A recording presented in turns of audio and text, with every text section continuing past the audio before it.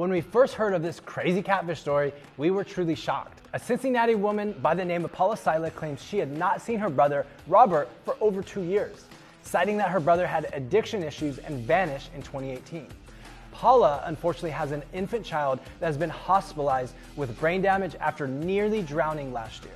After daughter's dramatic story went viral, a lot of money began piling up in her GoFundMe account. That's when something weird happened. Paula started getting text messages from a number that she didn't recognize. This number was claiming they had her brother and were holding him hostage.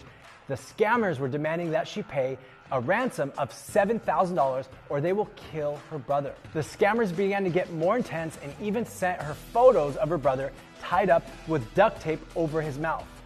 Horrified by the photos, Paula immediately turned to the police. After examining the photos, the police concluded that images that Paula was sent were actually photoshopped and not real at all. Still, the messages came in. After telling the scammers she had no access to the GoFundMe account, they disappeared.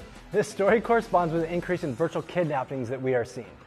Just a reminder if you are ever contacted claiming that your loved one has been kidnapped and a ransom is being demanded, you must try and contact them to determine if they are safe and if not, immediately contact the authorities. In most cases, it's highly unlikely that your loved ones are actually being kidnapped, and we always recommend waiting them out and contacting the police immediately before you send any money.